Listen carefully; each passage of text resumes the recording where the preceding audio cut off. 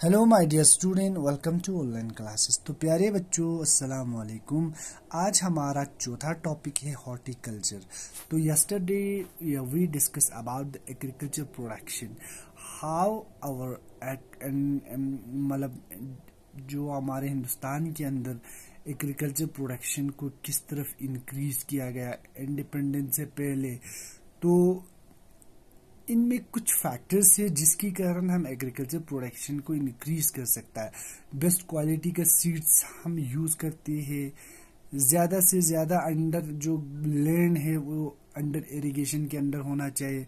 Fertiliser का अच्छा इस्तेमाल करना चाहिए पेस्टिसाइड्स छिड़कना चाहिए और जो मॉडर्न टेक्नोलॉजी मशीनरीज बनाए ट्रैक्टर बनाए, उन चीज़ का इस्तेमाल करना चाहिए ताकि हम एग्रीकल्चर प्रोडक्शन को ज़्यादा से ज़्यादा इंक्रीज करें। तो यहाँ पे हमें आज का टॉपिक है horticulture horticulture is a type of agriculture so there are two words horti and culture horti means all type of fruits flowers vegetable these are under horti and culture means cultivation यानी कि उस चीज़ को हम cultivate करना field के अंदर उसे हम हॉर्टिकल्चर कहता है। The cultivation of fruits fruits को कल्टीवेट करना फ्लोअर्स फ्लावर्स एंड वेजिटेबल और जो फूल होता है, और जो भी सब्ज़ियाँ होता है, इन चीज़ को कल्टीवेट करना, उगाना। तो उसे हम क्या कहते हैं? हॉर्टिकल्चर कहते हैं।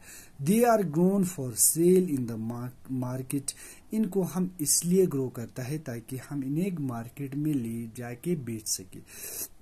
Many horticultural crops are grow in India बहुत सारे हॉर्टिकल्चरल क्रॉप्स है जो हिंदुस्तान के अंदर उगाए जाते हैं, जैसे फ्रूट्स फ्लावर्स वेजिटेबल तो फ्रूट्स में क्या क्या आता है? एप्पल पैन एप्पल लीची। तो ये टाइप ऑफ़ फ्रूट्स हमारे हिंदुस्तान के अंदर हॉर्टिकल्चर के अंदर ये ग्रो क्रॉप्स ग्रो किया जाते फ्लावर्स में जैस्मीन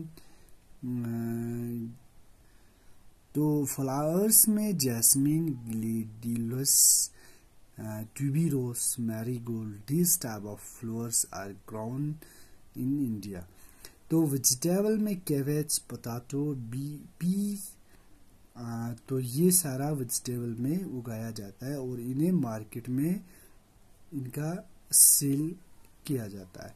तो the horticulture crops are mostly grown in Jammu and Kashmir Himachal Pradesh Uttarakhand Sikkim and north east state तो ज़्यादातर जो क्रॉप्स है हॉर्टिकल्चर का वो कहाँ उगाया जाता है? हमारे जम्मू कश्मीर के अंदर, हिमाचल प्रदेश के अंदर, उत्तराखंड के अंदर और सिक्किम के अंदर और जो नॉर्थ ईस्ट स्टेट्स है इन जगहों पे ज़्यादा से ज़्यादा हॉर्टिकल्चर का क्रॉप्स उगाया जाता है। तो दिस ऑल अबाउट हॉर्टिकल्चर। तो यहाँ तक आपके लिए कंक्लूड करते हैं आज का टॉपिक यहाँ पे। तो हमें और दो टॉपिक बचता है लाइव स्टॉक रियरिंग और fishing so tomorrow we discuss about this two topic तो आज के लिए इतना ही। तो खुदा हाफिज। हैव